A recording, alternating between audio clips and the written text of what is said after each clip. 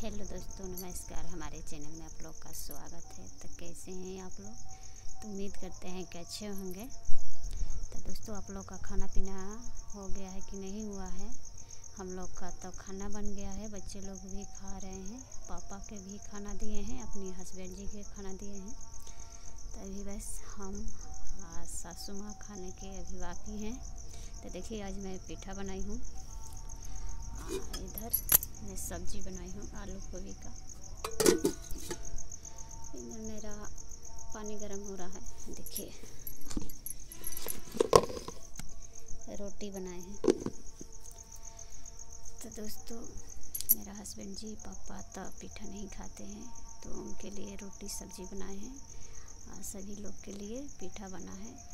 तो आप लोग का पसंद होगा तो कमेंट में ज़रूर बताइएगा। आ जाइए आप लोग भी खाने के लिए, दोस्तों। तो ठीक है? तो दोस्तों, अब मैं वीडियो यहीं पर बंद करती हूँ। वीडियो अच्छा लगे तो लाइक कीजिएगा और ज़्यादा से ज़्यादा सपोर्ट कीजिएगा शेयर कीजिएगा। चलिए बाय बाय